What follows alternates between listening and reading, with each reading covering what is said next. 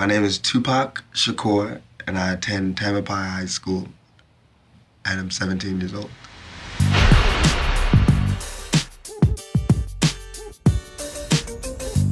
Each generation finds its own heroes and prophets. In 1996, one tattooed political poet, whose music and voice reached out to millions of people across the world, was silenced. The media portrayed him as a thug, focusing public attention more and more on his alleged crimes rather than his music. He spoke of poverty, injustice, equality, and the harsh realities of life. Was he just a reflection of the times or someone who made a difference?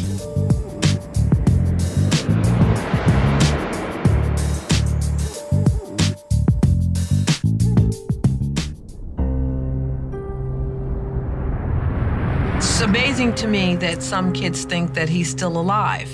It's almost funny to me because he couldn't have been quiet this long. There'd been no way in the world he could be quiet this long. I think Tupac's alive as any one of us in the sense of I can still feel him. He is still alive.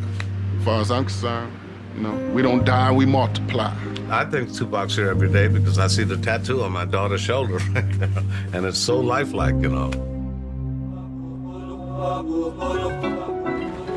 1960s were a time of turmoil and liberation. Americans were confronted with the power of Malcolm X and Martin Luther King. One group to rise from this atmosphere was the Black Panthers. The group believed that the only way to achieve black liberation was to form a black militia armed with enough firepower to fight the oppressive white government. Afeni Shakur, Tupac's mother, was in the forefront of the Black Panther movement. My mother was a Black Panther, and she was really involved in the movement, you know, just black people bettering themselves and things like that. He was a soldier from here. You you seen it was the upbringing. You seen Pac, he had the fire in his eye. You can't uh, exempt this guy from his environment. His mother was a Panther Party operative. She was socially conscious.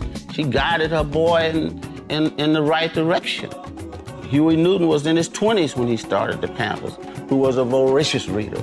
And Tupac probably wanted to replicate that. He wanted to imitate that. Afeni Shakur, pregnant with Tupac, was arrested on conspiracy charges along with 20 other Black Panthers.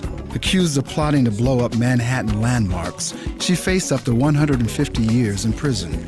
She successfully defended herself and was acquitted of all charges. One month after the trial, Tupac Amaru Shakur was born. Met him the first time at the Armory in New York City at 168th Street. Had gone over to hear Minister Louis Farrakhan speak at a rally, and Afeni was there with him. He was a tiny baby, and a, a, he was about two months old. Afeni never revealed publicly who Tupac's father was. She lived briefly with Mutulu Shakur, who would become Tupac's stepfather and spiritual advisor during his younger years. Mutulu was eventually taken from Tupac. Dr. Mutulu Shakur, political prisoner.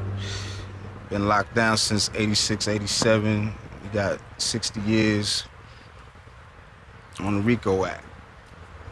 Was accused of, accused allegedly of liberating of Shakur, bank robberies, armored truck heists, all that. I was a man in Tupac's life who had a commitment. I was a man in Tupac's life who probably had a commitment to the struggle more than to the family. He learned a lot from the people, not from what was said by the people.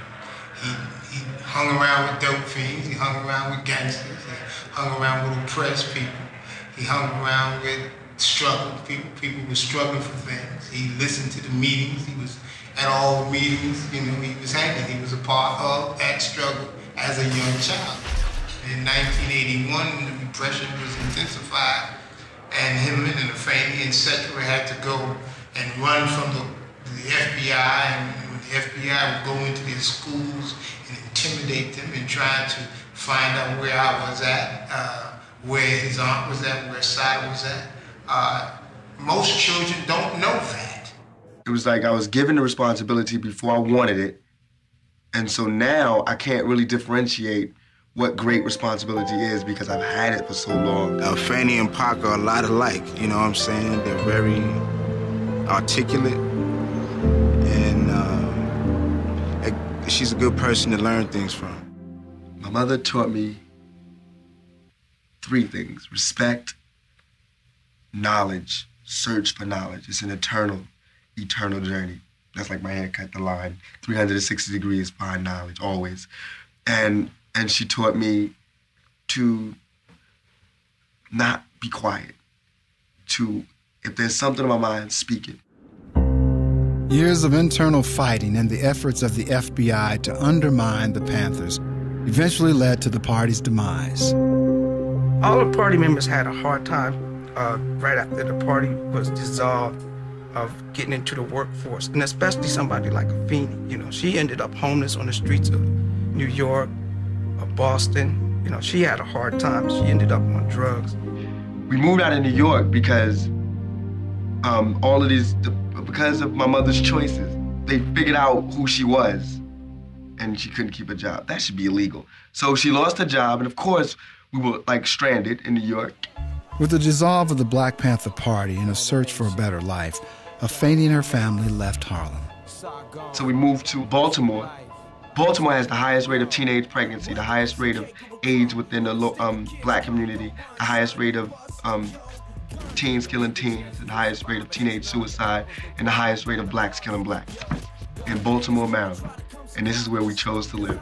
So as soon as I got there, being the person I am, I said, no, no, I'm changing this. So I started a Stop the Killing campaign and um, safe sex campaign and AIDS prevention campaign and everything.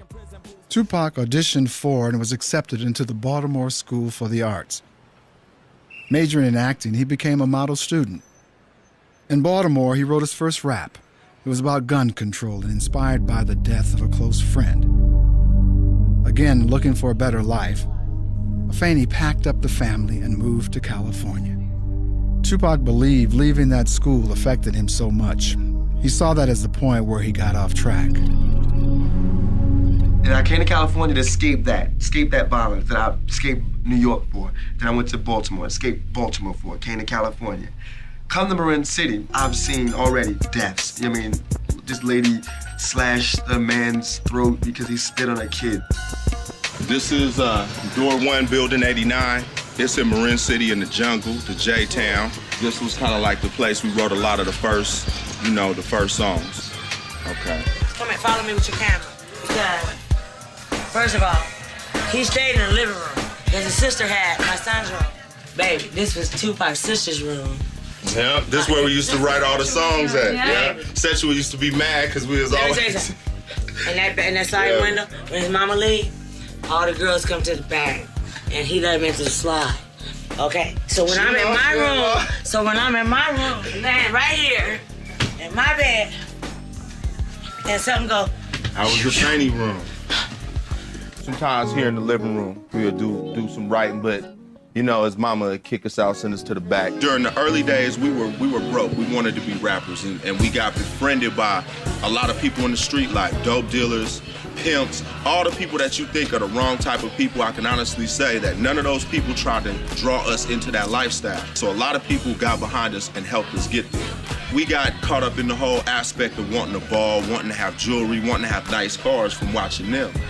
But the revolutionary aspect of it came from Tupac's mother and and, um, and the things she was teaching him. He taught a lot of us. I feel like if you can't respect yourself, then you can't respect your race, then you can't respect another's race, then you can't respect, you know, it just has to do respect, like my mother taught me. So um, what we what we're doing is starting the Black Panthers again in Marin City, just getting first teaching pride, and then teaching education, and then we'll see where it goes from there.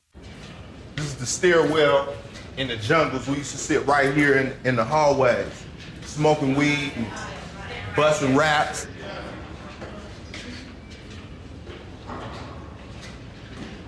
In the garbage chute. That's where everybody used to write their raps at. Now we're gonna go up to the top. This is what I was talking about.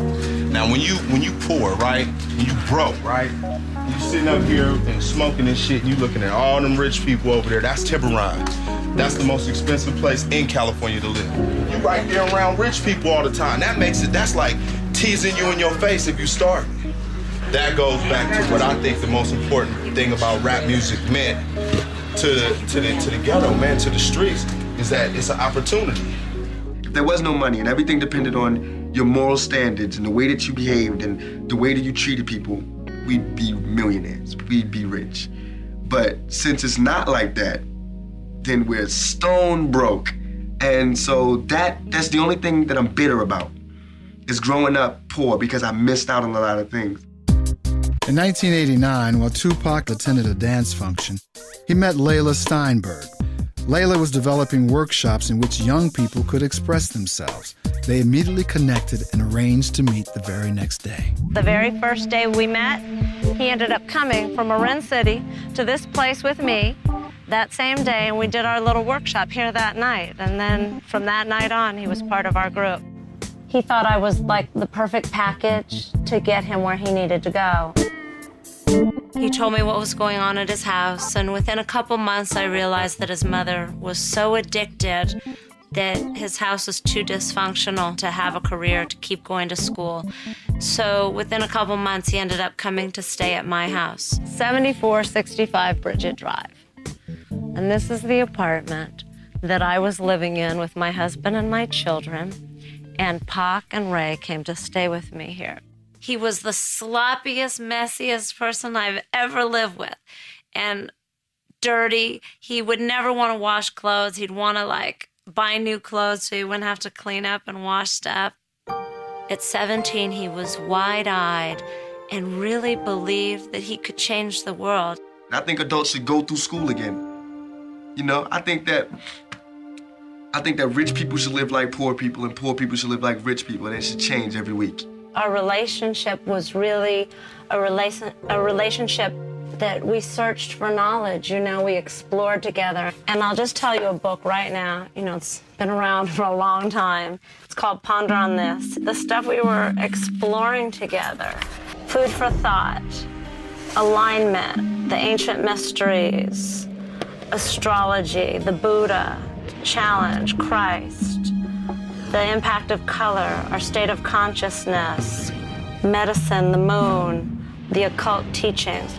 Rajneesh, telepathy, the Kabbalah, the Tibetan Book of the Dead. He read Roots a number of times. Teilhard Chardin, The Phenomenon of Man. And as you study Tupac's lyrics, you start to know and understand how much he incorporated his reading, even his last albums. So Pop would read a book like this, you know, it's a pretty big book, and he would attack people's definitions.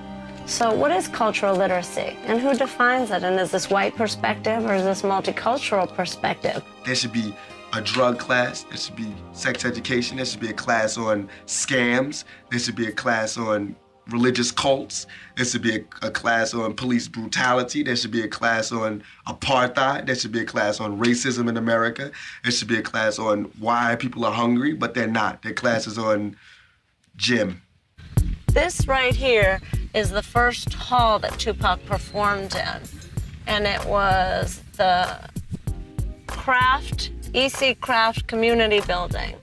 And Pac did this with Digital Underground, packed the place.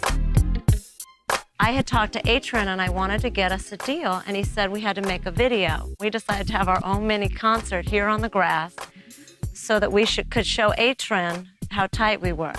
And so all the kids in the building were our audience right here on the grass.